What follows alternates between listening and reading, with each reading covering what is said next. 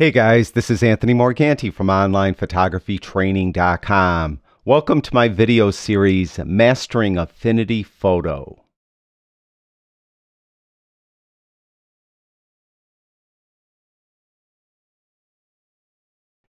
In this video, we're going to create an HDR image from three individual RAW files. As you can see, I have Affinity Photo open, so we need to load those RAW files. To do that, go up to File, then down to New HDR Merge. Click there, and the New HDR Merge dialog box will appear, and we need to add those files. So we'll click on Add, and when you do, if you have a Mac, Mac Finder will open up. If you have a Windows computer, Windows File Explorer will open up. Just navigate to wherever the images are on your computer. I happen to have them on my desktop inside of this Affinity HDR folder. And I mentioned that I have three RAW files. They happen to be Nikon RAW files. And it doesn't matter how many you have, meaning you could have more than three. You could have five, seven, nine. I happen to use three. This is um, a bracket of a church and I bracketed the images one stop apart. It also doesn't matter how far apart your bracket is in exposure, meaning you could do two stops, three stops, whatever works for you, your scene, your situation. This church didn't have a lot of dynamic range in it, and the exposure latitude of my camera could handle it pretty well. Did have stained glass windows, so that's why I wanted to do the bracket, and I used the three image bracket one stop apart. Now we need to select all three of them. So I'm going to click on one and hold the command key in and click on the other two. Um, if you have a PC, of course, hold the control key in instead of a command key. Click open. Now you'll see they're listed here, but there's this little black postage stamp view of the image. It's still loading when you see that. And you really won't be able to do anything until you kind of see that little postage stamp view turn into the actual individual images. And depending on the speed of your computer, it may take a second. And there they are. There's the three images. Now we have some controls here. First of all, the first checkbox is automatically align images. I did not use a tripod, so I need these images automatically aligned. If you used a tripod and you're positively, positively sure that the tripod didn't move at all, the camera didn't move, then you could uncheck this box and your merge will go a little faster. It doesn't hurt to keep it checked even if you use a tripod. Now I'm going to check it because obviously I said I didn't use a tripod. And then there's two different ways it will align the images. Uh, one is perspective and I found that that works perfectly every single time. The other is scale, rotate, translate. Um, I just as an experiment tried that once and it worked. So, but as I mentioned, perspective worked every single time. What I suggest is use perspective. If for some reason it didn't work, then try it over, do it over, and try scale, rotate, and translate. Below that is automatically remove ghosts. If you have something in the image that is moving between the three or five or whatever, how many shots you took, then you should check this box. Um, in this case, nothing was in the church except me. So there was nothing moving. Uh, if it was taken outside and it was a little breezy out and the trees were moving or there were grasses moving, I would check that box. If someone was in the church and they were w- walking across or something the front of where I was shooting, then I would check that box as well. Now, below that is noise reduction. Now, this only check this box if you're loading in RAW files. That's what it's meant for. If you're loading anything except a RAW file, meaning JPEG or a TIFF or something else, then it, they recommend that you do not check this box, that you reduce noise after you're done doing the merge with one of the other um, functions that are available in Affinity Photo for noise reduction. So because these are RAW files, I have this box checked, and by default it's going to show 40%. There wasn't a lot of noise in these images, and I'll leave it at 40%. If you have an image that is really, really noisy, or a bracket that is really noisy, you may want to push this up. If you have some that aren't noisy at all, just pull it down. Again, though, this is only applicable, they recommend, for, um, for RAW files. Below that, it says Tone Map HDR image. If this is checked, after it creates the HDR, it's going to open up into the tone mapping persona. If it isn't checked, it will just open up into the photo persona. I recommend that you keep this checked and open up in the tone map persona because as you'll see, there's some functionality there to help you further process your tone mapped image exactly like you'd like it. Once you're done there and you click apply, then the image opens up in the photo persona and you could further process the image. So keep that checked. So I'm ready to go. I'm going to click OK. Now, what Affinity Photo does, uh, first of all, when you click OK, it's going to act like it's not doing anything. Just wait a second, and then at the top, you'll see a progress bar come along, and it's going to tell you what stage of the process it's in in creating this merged HDR image. What Affinity Photo does is create, it creates a 32-bit unbounded HDR image. And what that means is there's, there's going to be so much tonal range in this 32-bit image that it may not display, but all that info will be stored in the file. So that's what unbounded means. So it is a really very powerful um, HDR functionality in Affinity Photo, rivals that of the 32-bit option in Photoshop. Um, so, you know, it's it's uh, I actually, as far as I'm concerned, my personal opinion, it's probably my favorite um, HDR processor, if that makes any sense. My HDR program, I really do like the work, the way it works. Now, I mentioned that once it's done, and it is going to take a minute or two, it will open up in this, the um, tone mapping persona or the tone map persona. And you could further process it here. Now you can see on the progress bar, it's doing denoise to the image, so it's uh, eliminating noise. And on the left-hand side, there's a few presets um, for the tone mapping you could choose from. And then on the right-hand side are the actual tone map controls that are available to you. Um, personally, I like to take a preset that I think is kind of close to what I like and then go over on the right hand side and readjust the sliders to make the image uh, exactly like I like it. Then, when I'm done, you would click apply and it opens up as I mentioned in the photo persona. And as far as this image is concerned, it's, it's pretty crooked, so I'm going to have to straighten it. Um, so I'll do that in the photo persona. So now we're done. And by default, it's going to go to this very first preset that's called natural. And you can look, there's detailed. And I, I really do like detailed. There's cool. I don't care for cool that much. High contrast black and white.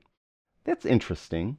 And dramatic, I've never ever liked in any image I've ever done. So I don't care for that. I do like detailed. Now, um, there is some other categories here. Extreme. You could go through all these if you'd like. Um, nothing I ever like in extreme. Definitely nothing I like in crazy. So I won't even go there. And then there's um, custom presets by a photographer named jo James Ritson. You could click on that and you could see red shade, crime, whatever. So I'm just going to go back to the default and I'm going to go to detailed because that's kind of close to what I like. Now, go over to the right hand side and we have the actual controls. And the main one for the tone mapping are these two uh, sliders, tone compression. Um, the more you move it to the right, the more HDR look it will give it, and local contrast as well. So I'm going to turn local contrast up a little bit. Now, if you go in here and you start moving things around and you, you screw it up, just click on that preset again and it will get you back to ground zero, in this case detailed. So I'm going to leave tone compression where it is at 100 and I'm going to move local contrast up just a little bit more. And this church was very bright, but this rendition of it is a little bit too bright. It wasn't quite like this. So I'm going to bring exposure down a little bit. And I'm going to go to the enhance sliders and I'm going to bring saturation up a little bit. And then uh, I think I'll jump right down to shadows and highlights. And I want to bring shadows down. It's not going to do much, but it will give me a little more, um, a little more darker area in the pews, and I like that. And uh, let's see what um, highlights. I don't like the highlight slider being moved anywhere but where it was. So I'm just going to double click on it and reset it back to its default zero position. So we'll leave it there. Uh, curves, I'm not going to do anything with that. So I'd say that this is pretty much like I, I like it. Now, as I mentioned, it is crooked. I got to fix that. And I'll fix that in the photo persona. And to get over to the photo persona, we're going to go up here in the top left-hand corner and click Apply. Now it's going to tone map the image. You can see the progress bar at the top, so it will just take a second. Once it's done, then I could open up the crop tool. And I'm just going to crop it by eye. I'm going to just go outside the bounds of the image and you'll see I'll get this double arrow and I'll click with the left mouse button and I'll drag the mouse up and down to straighten it. And what I'm looking at, because we have this tight grid now, I'm going to look at these lines and make them parallel to those window lines that are in the distance there. I think that that will kind of indicate to me that it's pretty straight. So I'll go with that. I like that. Now, another thing um, you'll see is that because it was auto-aligned, I didn't use a tripod, and obviously I moved between each of these shots, there's some blank pixels up here at the top left-hand corner, the right-hand side, the bottom uh, right-hand corner, and the left-hand side at the bottom. So I need to get rid of those. Now, I'm going to go to the mode. I like to keep the original ratio. If I left it at unconstrained, then I would be able to just move these handles and make the image um, any ratio I want. I prefer to keep the original 3 to 2 ratio. So what we're going to do is make sure that's on original ratio. And I'm going to go up here and I'm going to pull this one down. And I'm going to push this one up. And I got rid of all the blank pixels. What I want though, you can see right here is the center of my crop box, this handle here. I'd like that to go right along this uh, roof line or ceiling line. So I'm going to move the image or move the whole crop box that way. So that's right in the middle and make sure that I didn't reintroduce any blank pixels. And once I'm satisfied with that, I'll go up here in this top left hand apply. And you can see there it is. Now, I'm not super happy with the image per se, not because of the way Affinity Photo did the um, HDR merge, but I shot it very poorly. Um, I just don't like the lines. I, was a little crooked on the bottom here. Um, so but it's it gets the point across on how to use the HDR merge feature in Affinity Photo. Now I mentioned this is a 32-bit unbounded image. We need to save it. Um, so to do that, we'll go up to File and then go down to Save As. And when you do that, uh, this dialog box, of course, will pop up and we could save it and give it a name. So I'm going to just call it my, uh, whoops, my HDR. Okay, just for lack of a better name. And I'm going to save it right into that same Affinity HDR folder. Now this image is a proprietary Affinity Photo um, uh, file. You can see it says AF Photo. So you're going to have to only open this up in Affinity Photo. To, in order to share this on social media or maybe to print it on your printer or something like that, we're going to have to export it or send it to a lab to be printed more, more accurately. We're going to have to export, and we'll do that in a minute. So we're going to save this as this propri proprietary Affinity Photo image.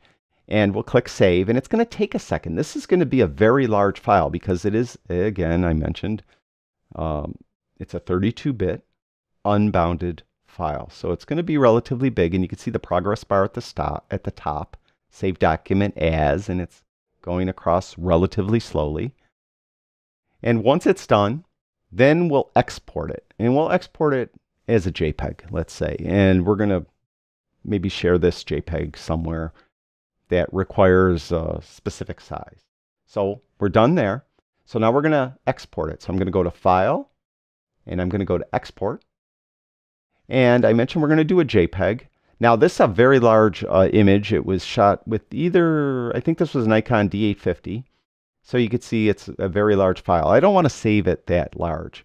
Um, I'm going to save it to some social media somewhere. So I'm going to do, let's say, 2048 on the long side.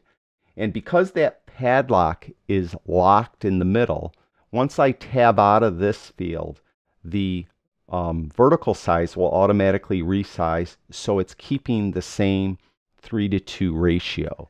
Now I want to use the JPEG best quality preset, which includes a bilinear uh, resampling, uh, quality at 100 doesn't, you know, you could go down to about 80 on that actually, and you probably won't see any difference.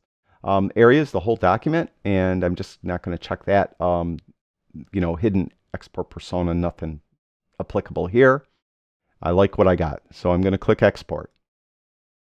And when it does, uh, it'll come up with this box again. And I named the original file now my HDR, but this one's going to be a JPEG, and I'm going to save it in that same spot. So we'll save it right there. And now once we saved the proprietary Affinity photo file, I actually could close this down.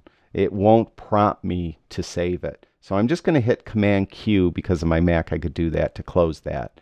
Closed everything down.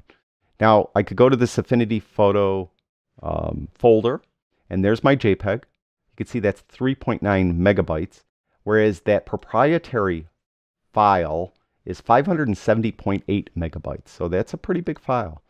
Um, but I click, there's my JPEG. And now if I double click on this one, it's going to open up in Affinity Photo.